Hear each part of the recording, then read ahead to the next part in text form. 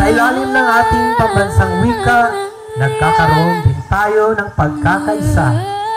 Sa bawat salita at tula, nagkakaroon tayo ng pagkakataong mag-ugnayan, magkaunawaan at magmahalan bilang isang bansa.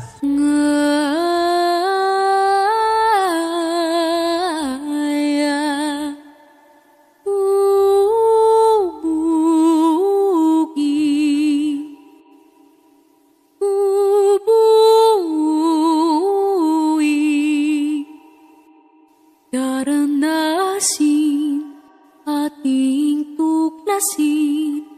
Iwat isip ubuhay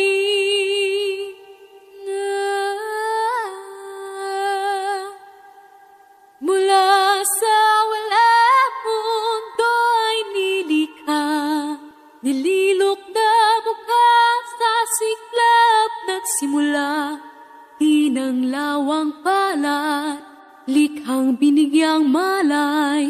Sa init ug isang pinagay Kapoy